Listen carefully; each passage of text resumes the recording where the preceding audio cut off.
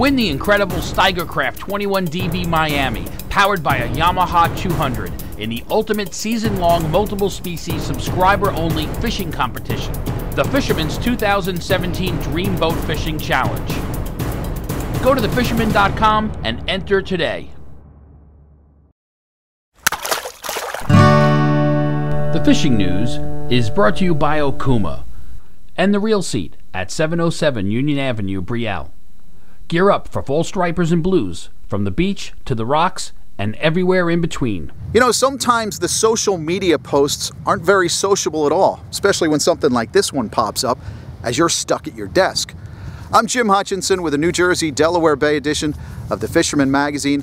The uh, text and emails and phone calls started in the middle of the week. DJ Muller got in touch with me, Tom Lynch, my buddy John down on LBI, another friend fishing at Island Beach State Park, and then lo and behold, I see this on Facebook while I'm sitting at my desk from the folks at Grumpy's. I think that speaks volumes.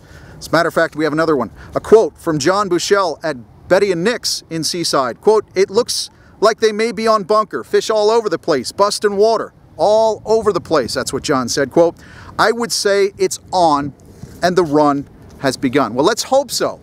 Been slow getting started. I mean, this time of year, uh, this time of year last year, we are already into it with a mix of striped bass of various sizes up and down the coast, especially in Raritan Bay, piling on bait, birds all over the place.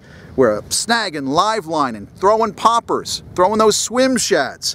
It has been slow going, but hopefully the reports this week along the central coast especially show that we are on. Now, speaking of those uh, swim shads, I recognize a tsunami uh, heavy swimmer when I see it, one of those big plastic baits. Well, Matt Calabria shared this. He's been doing some night damage uh, on the weakies and also the striped bass and throwing whatever it is they're eating. So obviously they're eating on bunker.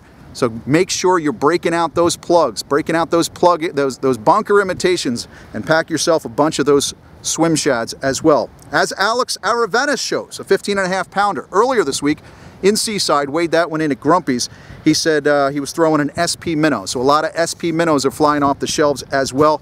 We do hear of some weak fish in the mix along the central coast as well. I did mention DJ Muller before. I had spoken to him on Wednesday, and he said Shark River was just packed with bait. We started talking about the need for some of this northwest wind to really get that bait moving and also cool off the water a little bit. Well, looking ahead towards the NOAA forecast for the next few days, it is definitely showing the conditions are right for getting things started. West northwest winds through Saturday morning is just what we need and then you'll wake up on Saturday morning with a little bit of a light northeast so that looks good. Friday and Saturday could really be uh, a gangbusters day as all conditions are showing and it's shaping up midweek to be some pretty good news. Good news for everybody. Good news for LBI as well. They've got the 63rd annual LBI Surf Fishing Classic. It's now in its second week and uh, we've got about 600 anglers registered in that tournament. We're finally starting to get some striper weigh-ins from the beach, uh, all along the beaches of LBI. Steve Warren earlier this week picked up the top fish so far, an 18.96 pounder that he caught on bunker and weighed that in at Surf City Bait and Tackle. It's only a matter of time before we start getting into the 20s and 30s along those beaches. Hey, if you plan by the way, to be on LBI for the Classic this weekend, you might also want to consider the first annual Merchantville Surf Tournament. That's an ASAC event. It's going to be based out of Surf City. You can pick up this week's edition of the Fisherman Magazine, the New Jersey edition, for details on that contest. But if you're interested in participating in that Merchantville ASAC tournament, call 856 466 9546. We move farther down into South Jersey and the back bays and rivers are starting to give up some more and more fish. We found that out doing the reports this week. Also found out from Dave at Absecon Bay. Uh, he had a charter out there earlier in the week, had a 30 incher. It looks like someplace out front of the Mullica River. So uh, we're hearing more about that all the way down through Cape May County as some pretty good sized fish as well are moving in through the Cape May County back bay waters and have also heard uh, in compiling reports for the week of a couple of fish along the Delaware Bay shore as well. So it's only a matter of time before you can start picking up those rockfish along the front Delaware coast. Of course, for the most part down there, what's generating the most popularity, the most interest, is folks are catching a lot of sheepshead. More sheepshead are being brought in uh, from Cape May County all the way down across the Delaware and along the Delaware coast, more than we've heard in uh, quite a few years. Uh, you can certainly hit them up along the bridge and jetty structure, and it seems like folks that are dunking clam, looking for one of those tog, are ending up with some of those sheepshead as well. In fact, Jamie uh, Schweitzer, for example, he was fishing with Billy Talbot over the weekend down in Delaware, hit up with a nine pound sheepshead that he weighed in at Lewes Harbor. Now the big news, of course, for Delaware, New Jersey, all the way down through Maryland as well, is finally our black sea bass fishery is back open and open for business as of Sunday, October 22nd. So this Sunday starts 71 straight days of humpback fishing. Don't forget you've got a 15 fish bag limit, 12 and a half inch size limit.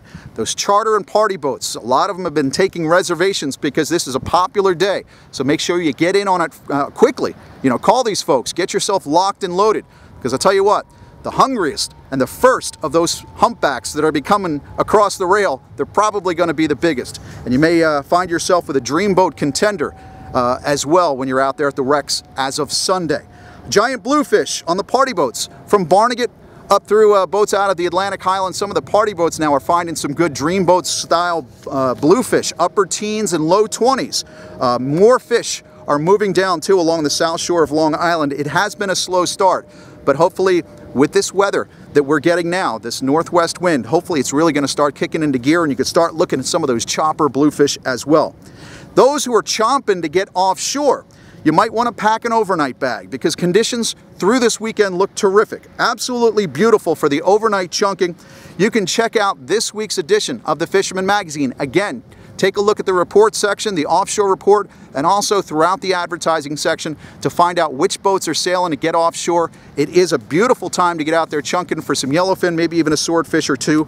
Uh, I'm hoping inshore as well as offshore, that it's on. Everything kicks off into gear this week. We'll find out if we were right if you check in with us again next week, and we'll find out. We'll compare some notes right here at thefisherman.com.